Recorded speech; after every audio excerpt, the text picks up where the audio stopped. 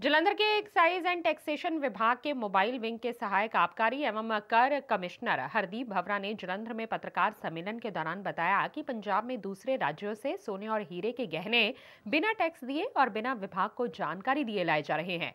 इस पर कार्रवाई करते हुए विभाग के अधिकारियों ने टीमें बनाकर लुधियाना के समराला चौक के पास एक गाड़ी को रोका और उसमें से चार लोगों को काबू किया, जिनकी तलाशी लेने पर उनसे भारी मात्रा में सॉलिड गोल्ड सोने, जरकन और हीरे के गहने बरामद बरामद हुए।